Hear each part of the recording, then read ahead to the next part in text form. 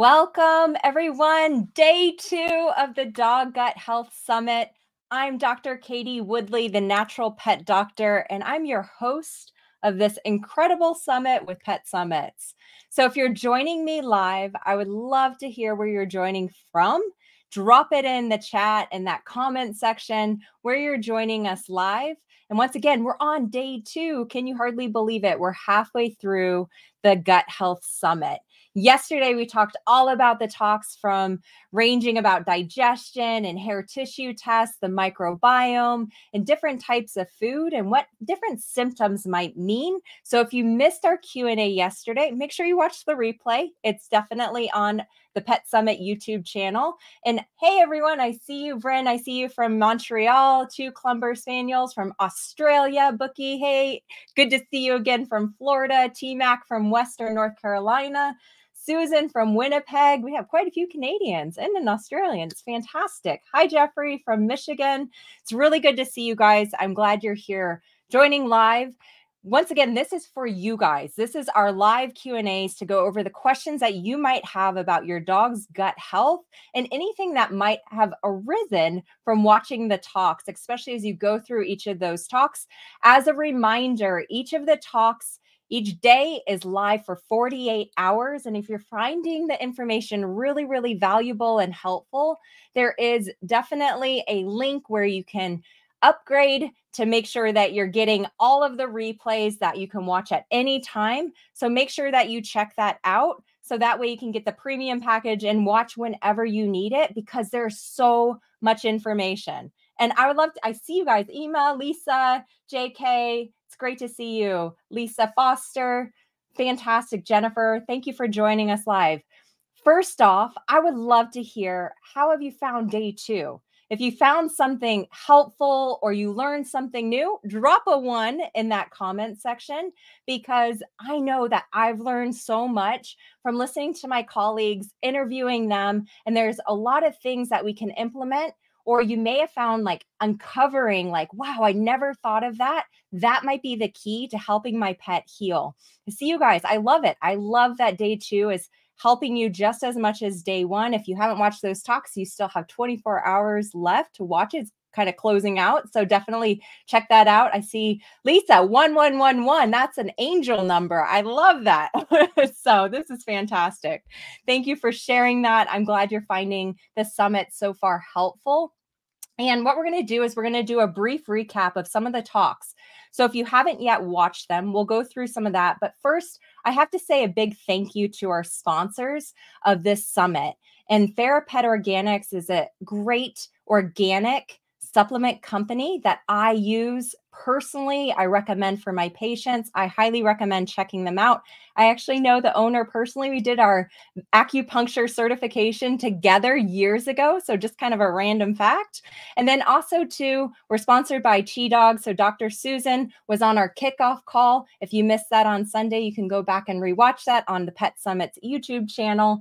Um, the the Chi Dog's fantastic. They're using a lightly cooked food based on food therapy, using the energetics of food. And Susan's talk yesterday shared a lot of information that you can use to help identify what pattern and constitution your pet may be if they're experiencing a gut health problem and how to pick and choose certain types of foods based on the energetic composition of that food. Very powerful healing modality that I use with my own patients too. And then, of course, Innovative Pet Lab. They're a fantastic gut health company where you can actually order the stool test yourself and you can run that sample. You get an amazing report that showcases do we have gut inflammation? Do we have leaky gut? Are we having a digestive issue? Is that immune system in the gut locally not working very well. So it can uncover areas where then you can pick the right supplements, the right foods to actually heal the problem because you know what you're treating. So definitely check out all the sponsors. They've graciously given everyone discounts too. Those links are also in the description and in the comment section. So highly recommend checking them out. I use every single one of the companies that sponsored us. Um, they're fantastic and I know, like, and trust them. So definitely check that out. Also, too, each day you will receive receive an email with the links to the daily talks. So make sure you check that out. If you're not seeing it for some reason, check your spam just in case it went there. But it brings you right to the list of all the talks, making it super easy for you to watch them, whether you're working, don't tell your boss, or if you're working out or walking the dog or whatever it is, make sure you check those out. And please share this information with your friends. So if you have a friend that has a dog that loves the holistic side or maybe not is not even aware of this side of medicine, please share the link with them so that we can spread this knowledge and information so we can start planting those seeds so that we can help our pets thrive and live their best lives. So definitely check all those out and we'll have two more days left of our q and a's. So make sure you join me live for tomorrow. And then also on thursday tomorrow i will be joined by a good friend and colleague. Um, so stay tuned for that which will be fantastic. Now day two was all about the gut microbiome. Let me know if you're live here or if you're watching the replay. Are you familiar with the microbiome so you can put if you're you already know what the microbiome is, just drop a yes or a thumbs up. If you're like this was a new concept, I wasn't even aware of how important this is. You can put a like a you can do a like a thumbs up also because it just probably opened up a whole new world for you. And I love you guys. You already are familiar with the microbiome. We've been talking about it for a very long time now. But as you can see, it plays a huge part for the rest of the body. And a lot of people and my veterinary colleagues may not be familiar with the microbiome studies and all the data coming out. So it's really important to share these talks also with your veterinarian so they can better understand of how it's interconnected with everything else and how maybe drugs and medications could be impairing or impacting the microbiome, making it potentially harder to heal your pet's symptoms and keeping you stuck. So, Dr. Conor Brady kicked off the day today talking about the GI tract and what does an optimal diet look like for dogs. If you don't have his book, Feeding Dogs, I highly, highly recommend it. There is a ton of research in there. I also always recommend gifting it to your veterinarian. We can plant those seeds and help them see some of the research also to help shift the mindset around dry processed food is best for our dogs and getting around the idea that a minimally processed food is much better for supporting overall health and also optimizing the microbiome. So he went through quite a few things. He's very entertaining. I highly recommend watching his talk if you did not check that out yet. Um, and he is very knowledgeable and he knows what he's talking about. So if you haven't watched that, make sure you watch it. He talks about also two food labels and what some of the like descriptions and words mean too. And then of course gives you some tangible options for adding in fresh food. Now, Dr. Christina Chambreau talked about glyphosate and how glyphosate can be this hidden danger, this hidden toxin that actually directly impacts the microbiome. So it works on a specific pathway of those microbes where it can actually kill them. And we end up having a problem with diversity. We can end up with an overgrowth of bacteria. It can then lead to things like leaky gut or inflammation in the gut lining. And then it leads to inflammation in the body. And then that's when we see things like hot spots, ear infections, behavior problems that gut brain connection we talked a little bit about last night on the Q&A and it's a hidden danger. We don't see it. It's invisible and we know that glyphosate is in 90% of the water in the world. So when it rains, we're most likely having glyphosate rain down on us. But here's the thing, and this is something that I always teach with my pet parents in my community is that just because we might live in a toxic, well, we do live in a toxic environment, or you might be in a more toxic environment, it doesn't mean you need to be afraid because there's so many amazing tools that we can use to help open up detox pathways. We can bind to the glyphosate, so things like ion gut using humic and fulvic acid, which will bind to glyphosate to remove it, are key components for helping your pet clear it so it doesn't stay in the body and create all these adverse issues that once again might be keeping you stuck with the gut health issue that your pet might be displaying. So definitely take a look at that because glyphosate is here. Unfortunately, it's here to stay And because it's so used, widely used and widespread in our agricultural system, a lot of the foods that we're feeding are going to be higher in glyphosate. So there's a lot of testing you can do. Um, there's also ways, like I mentioned, for you to bind that to get it out, but it's very important and we can't dismiss the impact that it can have on our dog's microbiome.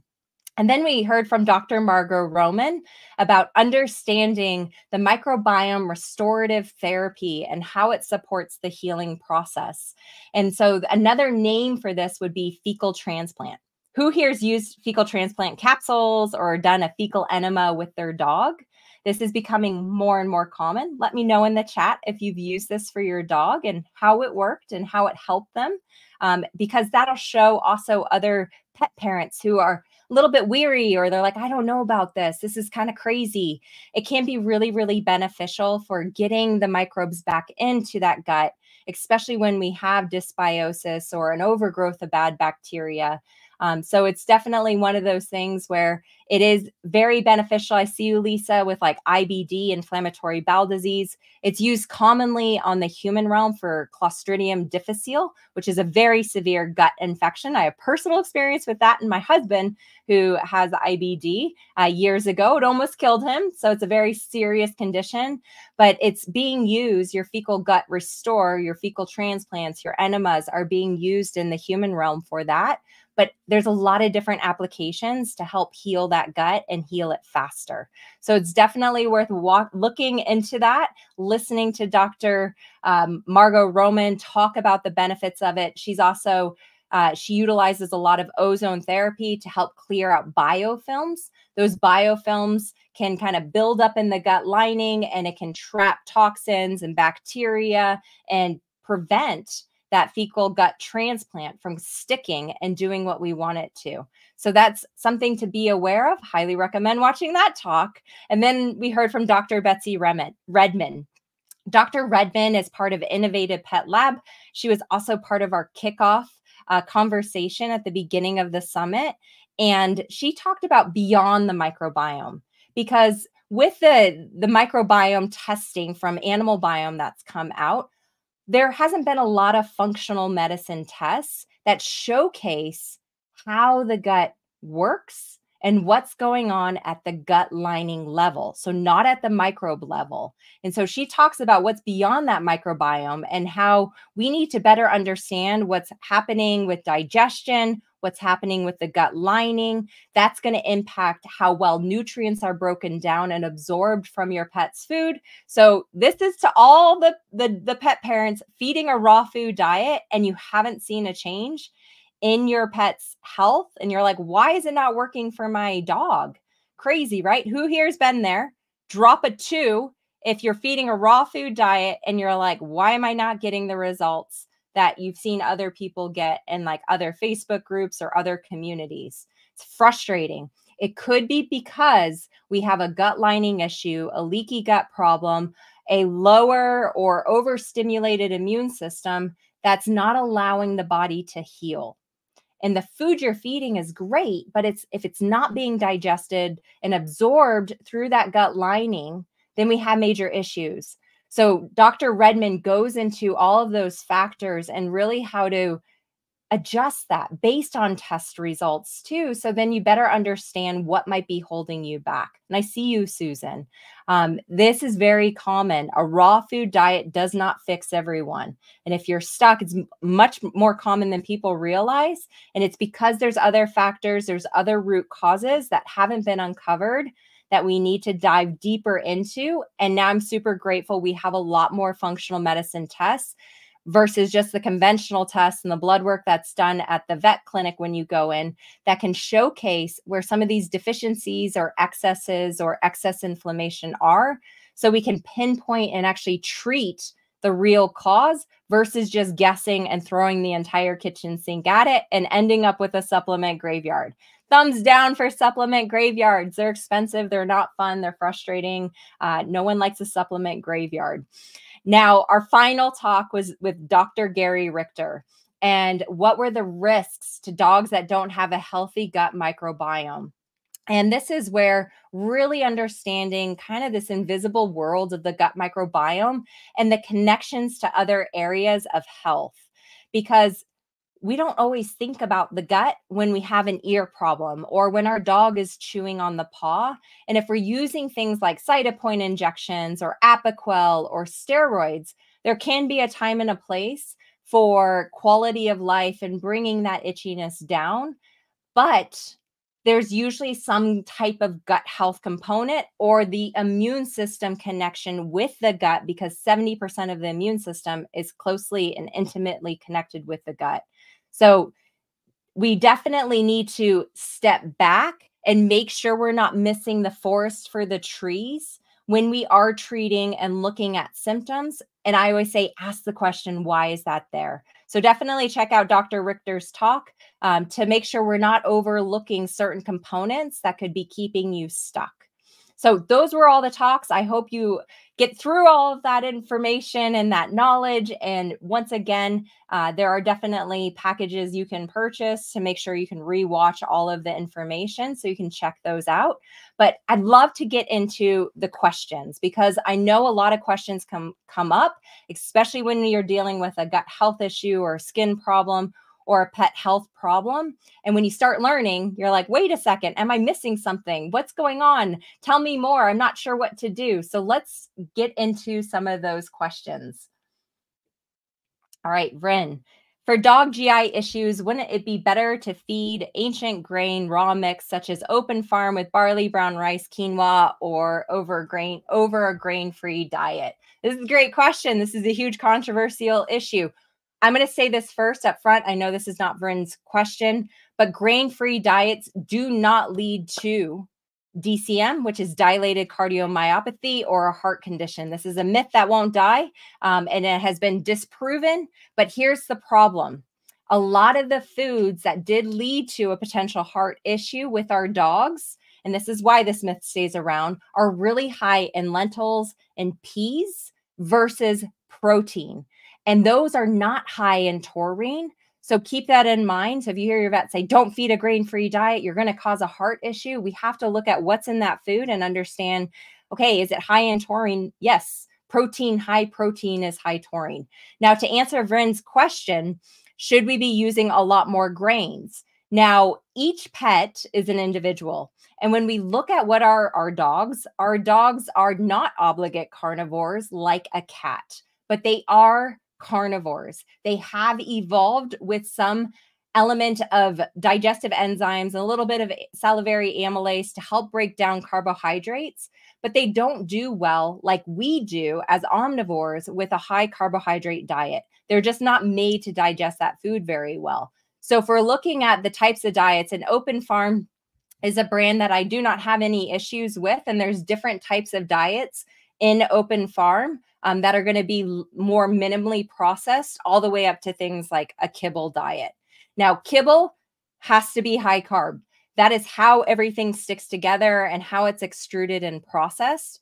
And we know that that is not a species appropriate diet. Now, in terms of looking at our carbs versus protein concentrations, we need some fiber. We need potentially a little bit of carbs. We can use it from a food therapy perspective, but it should ideally not be going over 25, 30% of the diet. And that's a higher mark for a lot of raw fed pets here. Um, but there is a time and a place, and some pets do better with a higher carbohydrate content, which can come from your ancient grains, as long as your pet is tolerating it and they don't have a food sensitivity to it. So this is where seeing like how does my dog feel? What does their stool look like? If you can do a microbiome test, great. Make sure that we have good diversity, that we don't have an overgrowth of pathogenic bacteria like E. coli or Clostridium are really important. Some dogs will do better with what we call low residue diets, which are going to be lower fiber, lower carbohydrate. I always say get away from your processed diets. I'm not a fan of kibble um, for numerous reasons. We do have a free guide. We have a simple guide to improving your pet's food um, at the Natural Pet Doctor. And also, a lot of you have downloaded it through the summit. um, where I list out the brands that are highly recommended and other resources too to continue to learn about nutrition so you can make sure you're feeding an optimized diet for your dog's gut health. So, this is not a straightforward answer. This is where you sometimes have to be the scientist for your dog to make sure that we are looking at them, assessing them, and seeing what do they feel best with? What does their stool look like? So, keeping a journal is really important. All right. Stacy, anxious, fear reactive dog a few years ago. Purina Calm Care probiotic actually worked. We no longer use, but want recommendations for probiotic brands. My question is always why are we using a probiotic?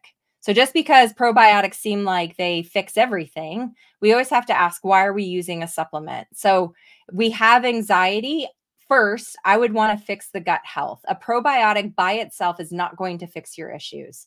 We have the gut brain connection, so the gut brain axis through the vagus nerve. Um, a lot of times, these anxious pets or hyperreactive pets are going to have what we call brain on fire or neuroinflammation. We have to calm down that inflammation. And this is where things like medicinal mushrooms, CBD, uh, there's a lot of products we can use to help calm down that inflammation naturally, but we need to make sure that the microbiome is optimized in the first place. Now, some of these probiotics, like the Calming Care Purina product, um, for one, I'm not a huge fan of the Purina brand. They add a lot of synthetics into it, and there's a huge concern going on right now in the world around and a lot of recalls in the past with the company over potential synthetic vitamin mineral issues and where they're sourced and heavy metals and excesses and all those things. So I, I want you to think about what is in this and be reading those labels because if you're seeing ingredients that are outside of, say, Bifidobacterium longum, which has numerous research articles about the the you know the gut brain axis and how it helps calm the pet and how it works to calm that nervous system um, we need to be thinking about why is that in there, right? Because we don't want more synthetic vitamins and minerals going into our pets. The other factor, too, which we talked a lot about last night, is that the hyperreactivity, the anxiety can be a heavy metal issue. I just got some hair tissue mineral analysis results from a couple clients who were experiencing anxiety, but also experiencing allergies and itchiness. The problem is not an allergy, it's actually a heavy metal issue, and the aluminum is too high in the body.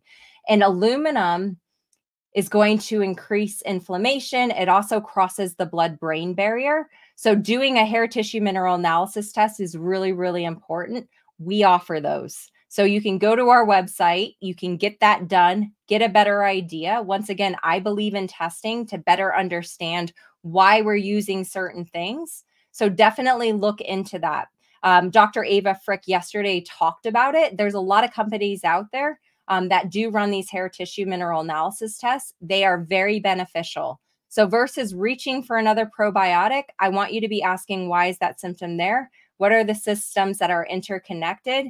And we need to be looking at a deeper level. So once we finish that probiotic, and if the symptom came back, it was kind of like putting a band-aid on it. So keep that in mind when you're looking at that. Um, next question.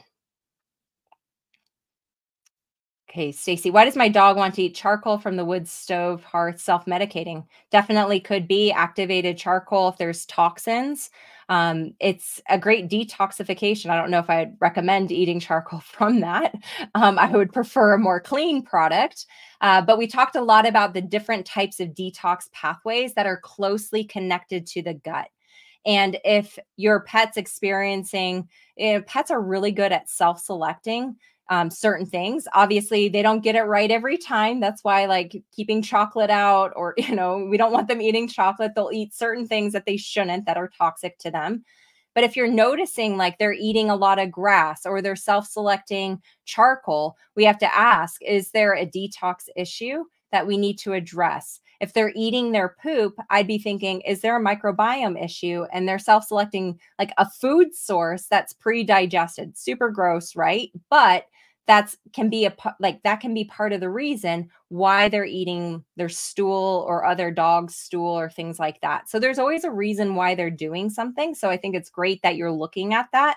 And maybe it's time to use something like ion gut to support and heal the tight junctions, get potential glyphosate out of the body, um, and use like it's a nice gentle binder versus and see if your pet stops trying to get to the charcoal in the fireplace.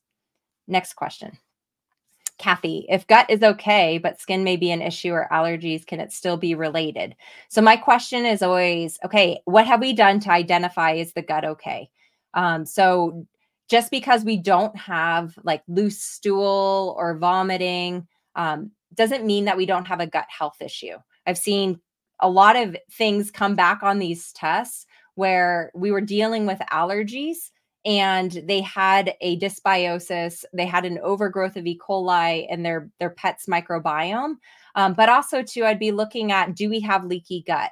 So if we have leaky gut and this is where innovative pet labs tests can be really helpful to see is calprotectin which is a marker of inflammation in that in that gut lining so if we get inflammation, there should be nice tight junctions. It starts separating food, bacteria, toxins pass through.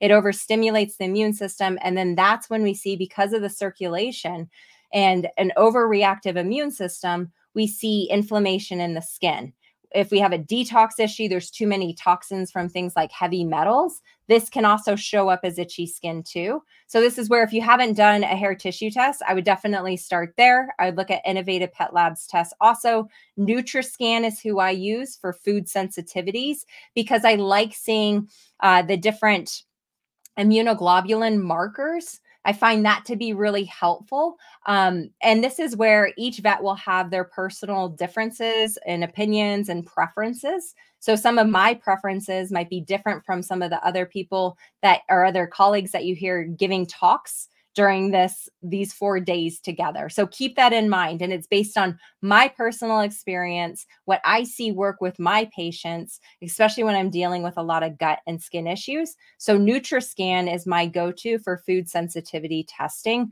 I find sometimes some of the other types of testing that are out there testing on hair, not the hair tissue mineral analysis test, which is looking at like vitamins, minerals, heavy metals, not food sensitivities, can be quite overwhelming because they come back with all sorts of random things and you're pet sensitive to everything on life and then you're afraid to feed everything. And our energetic frequency decreases and it's like everything now becomes an issue and there's so much fear and i don't feel like that's a healing energy. So the tests that i use give me kind of more clear understanding of where those gaps and those holes are so we can heal it. So those would be some of the things that i would be looking at but like what i just mentioned with those hair tissue tests with some of the patients that i've been treating they didn't have allergies. They had way too high heavy metals and that was what was creating the itchiness because the detox system was all backed up and we needed to open up those pathways, support digestion, support bile production so those toxins could actually get out of the body and we can get inflammation down, detoxification goes up and starts working. Um, so there's interconnections with everything. So that's where I look when I'm when I'm working with a dog that has allergies and their gut seems pretty good. So I hope that helps. Next question. Dr. Brady said that since dogs are carnivores, their digestive system is very acidic. That is correct. Does that explain why some dogs that eat kibble have reflux regurgitate because what they eat doesn't require high acid? Um, I would say that that there's a lot of reasons why dogs have issues with kibble and then there's dogs that like never have an issue with kibble and that's part of the argument that we see um, now our our dogs do have acidic environments in their stomach. And a lot of times their stomach pH is not low enough to activate digestive enzymes. And so when we feed a kibble diet, it requires a lot of digestive enzymes because it's higher carb. And our dogs are not made for that. It's also processed at really high heat temperatures. And so it's forming a lot of byproducts that increase inflammation, things like advanced glycation end products. This is a form of like oxidative stress, increased inflammation in the body. So it makes it so much harder for dogs to process those types of foods. I see dogs that are eating raw food diets that get acid reflux. So just because once again we're feeding a minimally processed diet doesn't mean that we don't have we can we won't have other potential issues. But kibble is a very highly processed, high heat. It's cooked at very high heat temperatures. A lot of those kibbles, I would say the majority of them are going to use your synthetic vitamins and minerals too. And those are not as well absorbed, also.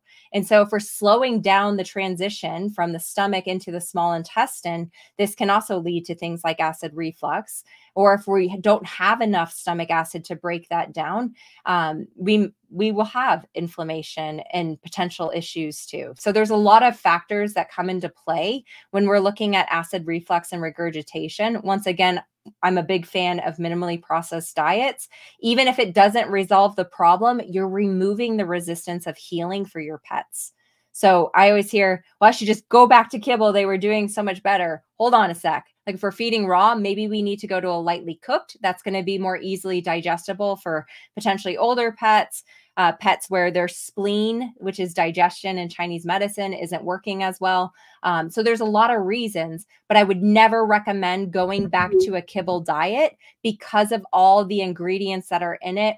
And it's going to make things harder for you and potentially create other health issues down the road. So I hope that helps. All right, Lori if we followed all the ideal feeding cleaning protocols dis- discussed successfully discuss, discussed successfully for years yet have a leaky gut signal persistent dermatitis um, even after several months of Chinese herbs and various topical cleansers. What is the next best step? Microbiome testing is not an option financially at this time. So, this is really hard to say what exactly has been done. Um, it's great that you are reducing, hopefully, this is the first phase is remove. So, removing toxins as best as you can. My question is always how are we supporting? detox pathways too. So it's not just removing, we have to start repairing, also replacing. Um, so there's a lot of factors here. It's hard to say, but I follow those five R's that we talked about yesterday with uh, um, um, Ruth Roberts, Dr. Ruth Roberts talked about it. I teach it in my Better Gut Health program. Following certain frameworks is key because a lot of things can be missed. And so if you can't do the testing, you know, we need to make sure that we are digesting the food properly because if we're not digesting the food and we're lacking digestive enzymes, um, we need to make sure we're supporting an optimal pH of the stomach.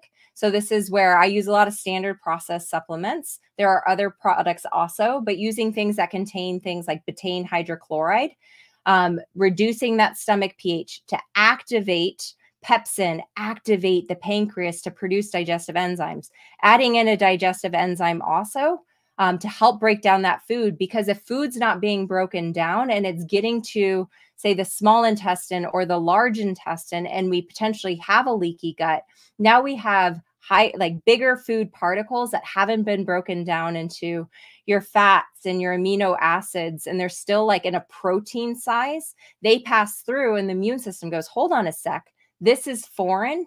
And now that immune system goes into attack mode. And that's what increases inflammation. So, once again, we don't know if we have heavy metals, but a lot of the detox protocols, making sure we're using milk thistle, burdock root, that we're on a well balanced diet, that we're breaking down that food. Then we're also using binders to help clear things out. And we're supporting the immune system. So, this is where colostrum, raw goat's milk can potentially help too if your pet isn't sensitive to those things. I like using things, being careful about what we're using topically too. I find a lot of the chemicals out there contain things like chlorhexidine and are really harsh to the skin microbiome and don't allow the skin to heal. The other thing I was going to say too is your omega 3s a lot of times are deficient. And this is where pasture raised meats, if you can buy pasture raised, ideally grass finished, um, they're going to have a natural higher omega 3 ratio. And a lot of times you don't have to supplement with omega 3s. This is like Green Juju is a brand that does a lot of research. Billy Hoekman talks a lot about this. Um, so if we can use these foods that work with the body that have higher natural nutrient content, then we can actually reduce the amount of supplements we use because we don't need to add more. So I'd be following some of those principles and taking a look at, well, you know, it feels like I've done everything, but maybe I haven't adjusted this. Let me try this, do it long enough to get, see results. Remember, Rome wasn't built in a day. And so, if we've been dealing with years of health issues, there is a journey. There are some ups and downs. It doesn't mean that what you're doing is not working. As long as you're seeing an upward progression through those downs and your pet is responding faster, they're recovering faster, that is a key component and something that keeps people stuck a lot of times. Okay. TMAC. Dr. Tobias suggested feeding one meal a day. What about dogs with stomach motility issues? Every dog is an individual. There are some dogs that need to be fed multiple times a day. So, this is where if you are seeing your dog does better with multiple times a day, then stick with that. I I am a fan of I think we talked about it yesterday there's so many extremes, right? Like we flip from one end to the other end of the spectrum. The magic's in the middle. You know your dog the best. And this is where, yes, there's a lot of information around intermittent fasting and allowing the cleansing waves to go through. And I can understand that. But if your dog is a dog that has bilious vomiting or they don't do well or they have some other medical conditions, it is okay to do feedings more than once a day. So keep that in mind. I'm giving you permission. It's okay. So I hope that helps. And I hope that reduces some of the stress that some of these, like, I'm not saying it's wrong, but when we look at extremes, a lot of times those extremes work really well for certain pets and they don't work for some other pets because every pet is an individual and every environment is different. You know your pet the best and trust yourself with that. Next question. Cheviot's. No diarrhea, but dog wants to eat dirt. Is it okay to let them or discourage? That is a symptom that is showing you there is a gut health issue. So they're eating dirt because they're trying to get vitamins and minerals. There's probably a microbiome issue. I would want to know what type of food are we feeding. Um, that is a common behavior. It is not a normal behavior. And when I think about the dirt, for one, like, is there things being sprayed in it? Are your neighbors spraying herbicides, pesticides? Like, there can be a lot of stuff in there that could potentially cause more issues, more inflammation, and health problems. Um, so, if you can, once again, testing can help. If you can't do testing, this is where make sure that we're feeding um, minimally processed foods. If you need to add digestive enzymes and things like that, try that to help break down those foods. Making sure we're adding in variety also. Um, those would be some of the, the the steps I would start with when I see that type of behavior. Next question. What sort of food enzymes do you give to a dog? you guys are going to hate me tonight. I'm going to say depends. what are they eating? So, this is where there's a lot of different digestive enzymes. And I use human digestive enzymes. There's me being transparent with everyone, not for every pet. But when I do, it's usually if a dog is on a higher carb diet because your human digestive enzymes for one are usually going to contain be hypoallergenic so i work with a lot of really sensitive pets um, so they can't tolerate a lot of things like flavorings and things added into a lot of the pet supplements. And if they're on a higher carb diet for whatever reason it is, we need to make sure that they're able to break down that food. So if we're using a higher carb diet like kibble, or you're using something that has higher carbs like rice or a lot of, I mean, you'll see this with the ingredient list. Um, you want to be using more digestive enzymes to break that down. Now, if you're feeding a raw food diet, you don't need all of that. We still want some greens in there. We still need fiber to feed the microbiome. That is a really important prebiotic. But this is where things like there's a company called Optigest, super simple. There's four digestive enzymes. Um, Dr. Mercola, which is now called Bark and Whisker, um, they have a digestive enzyme that I can't remember that it might be digestive enzymes. I can't remember the actual name, the new name for it. That is more geared towards a kibble fed pet because it has a broader spectrum of digestive enzymes. So we have to look at your pet as an individual. What are we feeding them? What are the circumstances around that? And what is this supplement doing to help them? Because just because there's a supplement choice doesn't mean we need to give it. That's really, really important. So I hope that helps. All right. A toy poodle who's itchy on Apoquel, I'm guessing Caddy, um, Cytopoint injections, eats Royal Canin, mature can, mostly blind, but otherwise healthy. Is he too old to switch him over to a new diet? This is where going slow and being careful. If you have someone to partner with, fantastic. Um, but also, too, with an older pet, um, if you haven't watched Dr. Susan's talk from yesterday on food therapy, I highly recommend it. This is where I would not transition to like jump straight to a raw food diet because this animal has health concerns. They're older. We'd probably want to look at i don't know what supplements they're taking. We need to build up strength. We need to support that digestion. A lot of times adding in a digestive enzyme to help them break down the food and then slowly transitioning them over to a lightly cooked or more minimally processed food that's how i would approach that with an older animal going slow and steady um, and making sure we're supporting the different systems in the body is key all right next question rice. Good old rice. the bad rap. I was always under the impression that brown rice, when fed regularly, has a higher burden of arsenic associated. What are your thoughts on it as the carbohydrate in dog food? Okay, so there's different viewpoints on this, as there is everything, right? Which makes it super complicating for health.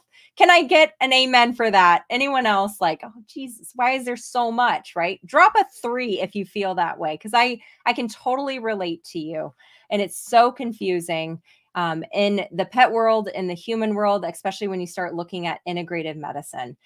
This is where brown rice can traditionally be higher in arsenic.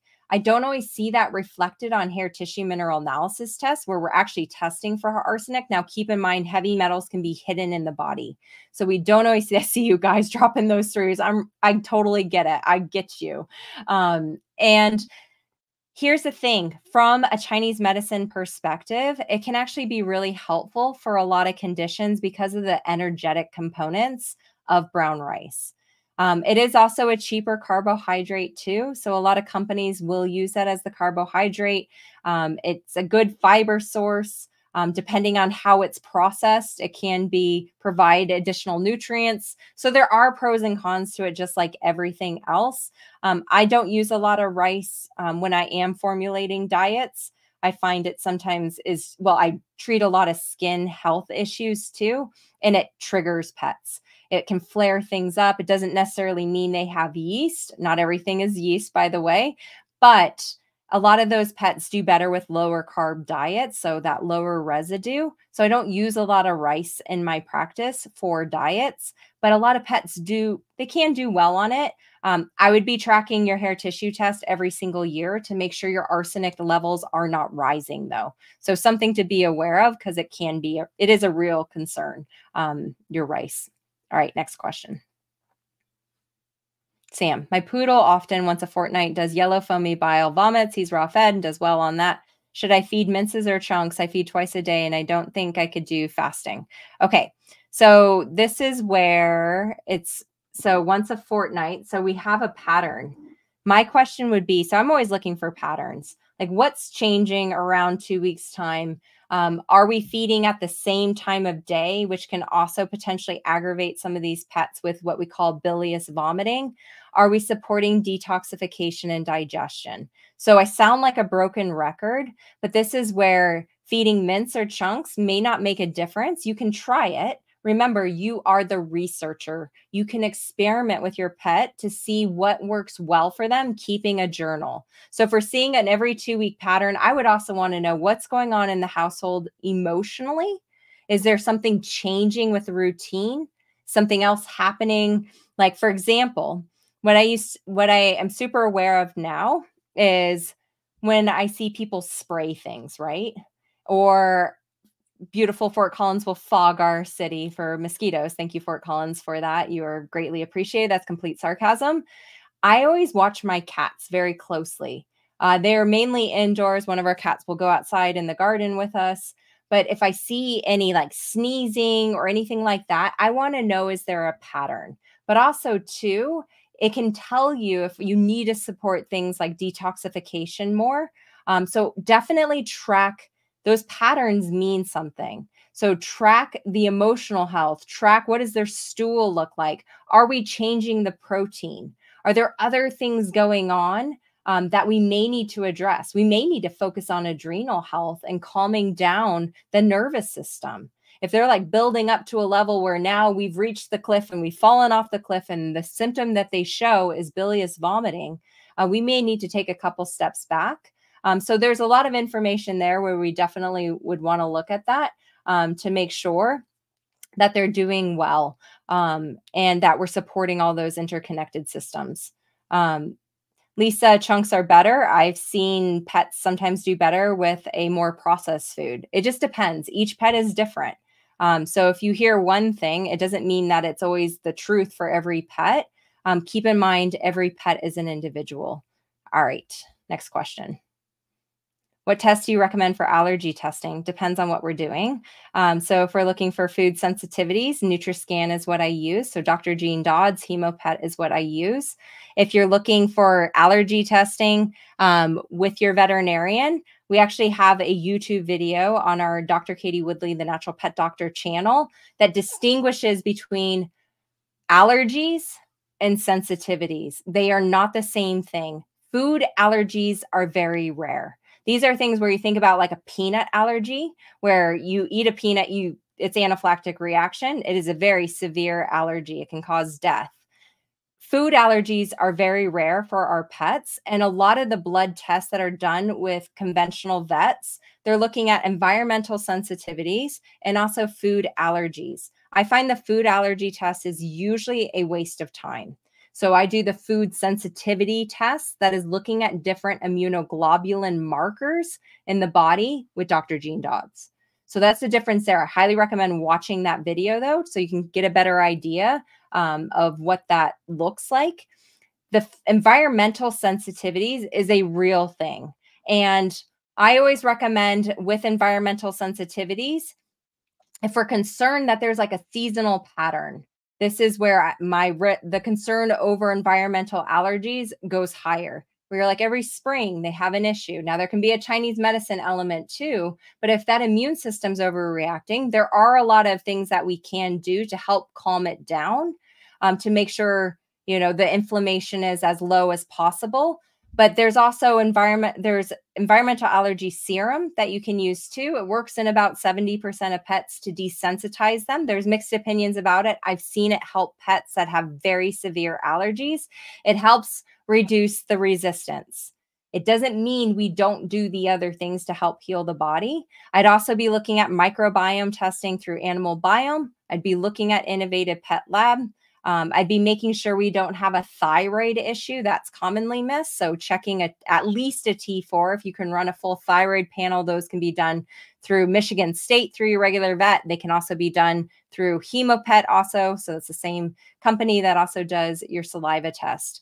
So we want to look at those. Um, if you can do all the tests, great. I know it can add up to a lot of expense, but if you're getting stuck and you've like been dealing with things for years and years, I mean, the cost of that adds up.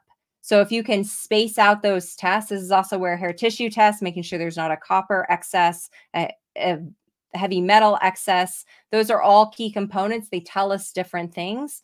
Um, so you have a better idea of what to actually treat. Um, and Animal Biome ships to a lot of countries overseas. So if you're in Canada, they ship to you. You would just go to the Animal Biome website. So um, you can definitely utilize them. But I've had clients, Singapore clients, use Animal Biome. Uh, they ship worldwide, um, which is fantastic. And it's a stool test. So you can always reach out to them. But I know they ship to Canada. All right, next question.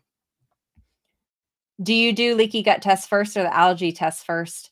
Uh, depends on what's going on with the pet. Um, usually I'm going to make sure we've ruled out a thyroid issue. Um, I'm also going to look at a microbiome test. And then if we can, that's when I'm doing an innovative pet lab test because they're testing different things. Um, but if we have like a dysbiosis or a lack of diversity, we need to address that first. And then we also need to make sure um, that there's not hormonal issues too that are creating a problem. I do hair tissue tests with my clients first off, anyways, because it's so powerful and it helps guide. Um, so that's just part of the protocols I use um, with my patients also to make sure that we're going all in with detoxification along with the microbiome and gut health support. Um, or if we can hold off a little bit, go light and then fix like the leaky gut. So it just depends on the pet and what they're experiencing. Environmental allergy test is definitely lower on my list now. I used to run it all the time before I had all these functional medicine tests and before I switched into like the integrative worlds. So there is a time and a place, um, but it's usually not the first test that I'm recommending. If we're having constant issues with like constant skin issues, they're constantly chewing at their feet, we're constantly getting ear infections.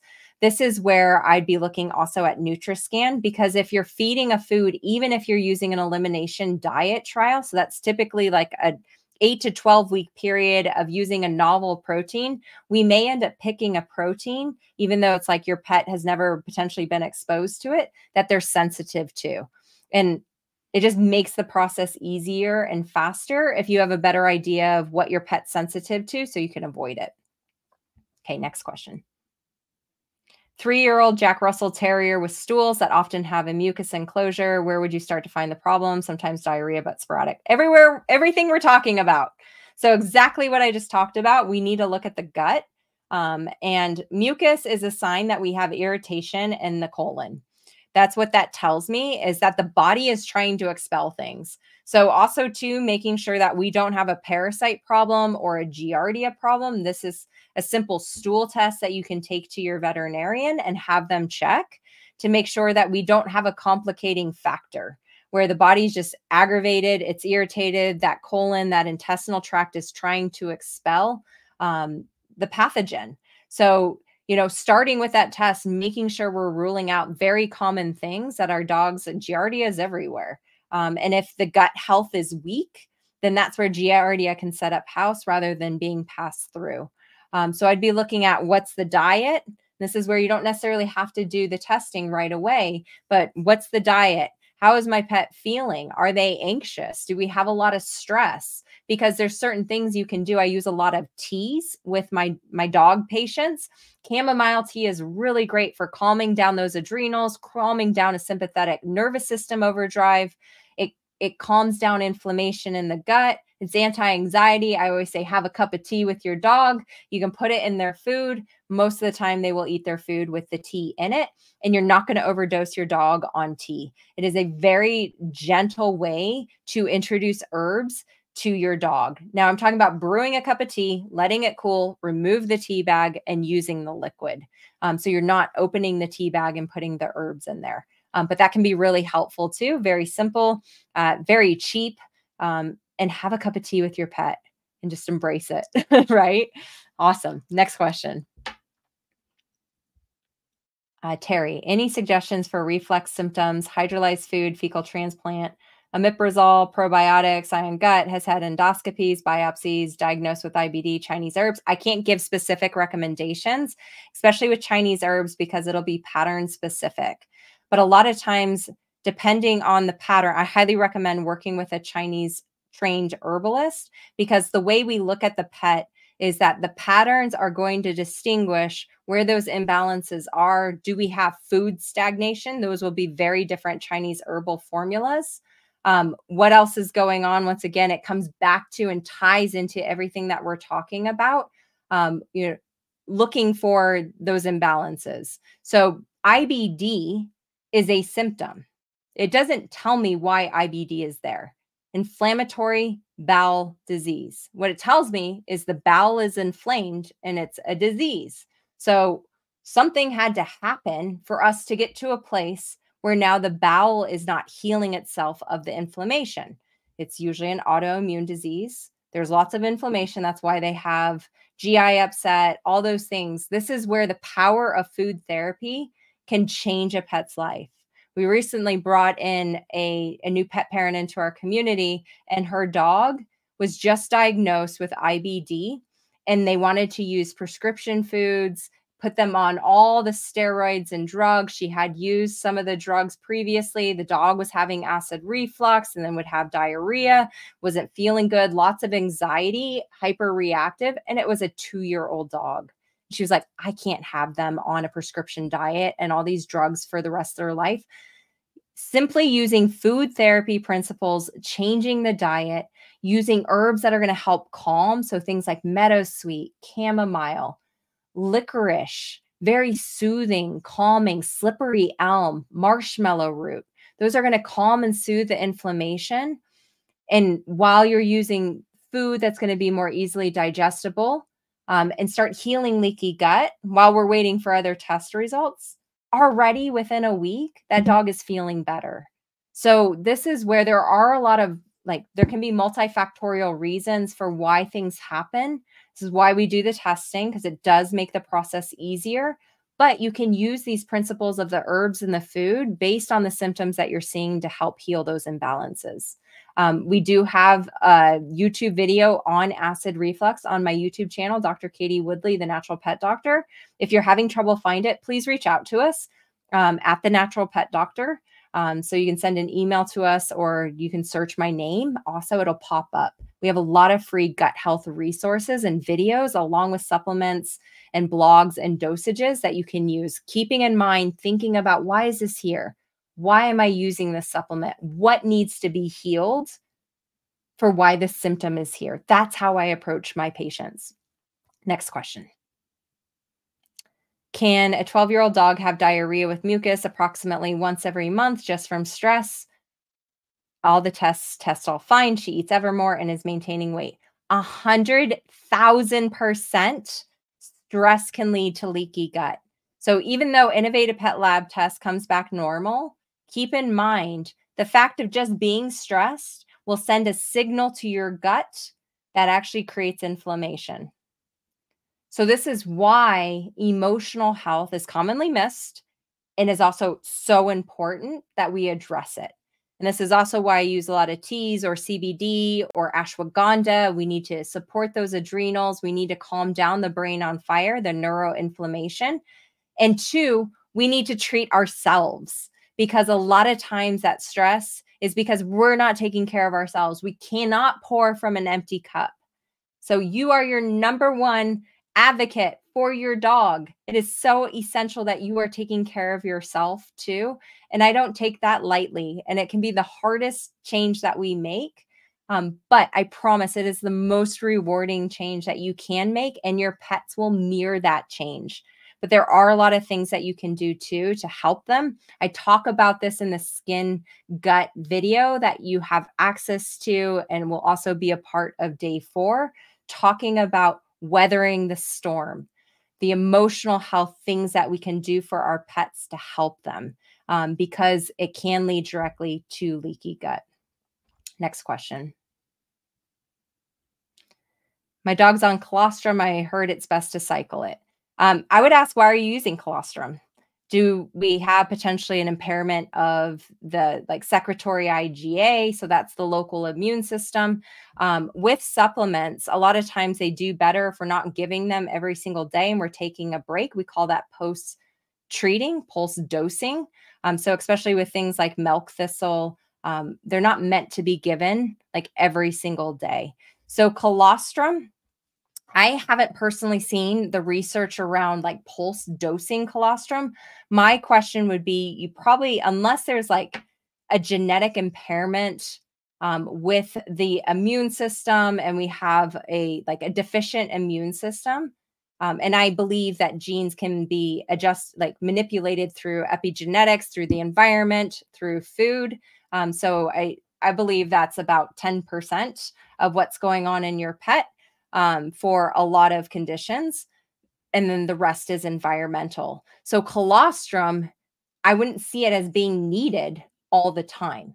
It's essentially there to like give it a boost, support that local immune system, and then help heal the gut. And then you would come off of it. That's how I would look at using colostrum and how I use it with my patients. All right, let's do one more question and then that will finish for tonight. Should geriatric dogs be fed twice a day? Carrie, great question. It goes back to it depends. Um, if your dog is doing well with once a day feeding, I am fine with you doing once a day feeding for that intermittent fasting. Um, geriatric dogs, so older dogs, so any dog older, and this will vary on size, but typically over 10 years of age, they usually have less digestive enzymes as they age, just like we do as people. So, if we're starting to see GI issues, we need to support digestion more. We need to make sure, once again, all of the factors are being accounted for and go from there. So, if your dog's doing really well with once a day feeding, fantastic, keep them on that. If they're doing better with twice a day feeding, keep them on that. Um, we do not want to create stress by changing the food. So if you have an older dog and they're like getting really stressed because they're only getting fed once a day now, I would see that as a detriment to their gut health and their overall health. Um, so that's how I personally, in my experience, approach that. All right. So tomorrow, I will be back to answer your questions. I know there are a lot of questions here. Um, so you can always drop those under uh, the the Q&A for tomorrow night. Show up live. I love engaging with all of you. I see you guys going back and forth. Make sure that you're checking out all of the videos. Uh, tomorrow is going to be all about optimal nutrition for a healthy canine gut. You're going to be hearing from my good friend and dear colleague, Dr. Judy Morgan, Kimberly Gauthier, on how to transition your dog to a a fresh food diet. Dr. Susan is also going to be talking more about how food therapy can really support the body. So, tapping into the power of Chinese medicine through food. Dr. Nick Thompson is going to talk about raw food diets, the myths around that, and top tips that you want to know. So, tomorrow is going to be packed with a lot of useful tools that can help you. And especially if you're looking to transition or add in more fresh foods into your dog's life, definitely check those out. I appreciate all of you for being here. If you need additional resources or you're not sure where to find information, or I reference something and you're not finding it, please reach out or check out our YouTube channel also too. There's a lot of free resources there on gut health from acid reflux to healing leaky gut. Um, but please reach out if there's any questions around that. Otherwise, we have two more nights together to answer your questions and two more days of awesome content to help your dogs thrive. So I can't wait to see you there. Thank you again for taking time out of your day to learn more, to grow, and to help your dogs be the most healthiest dogs possible. I'll see you guys all tomorrow. I'm Dr. Katie Woodley.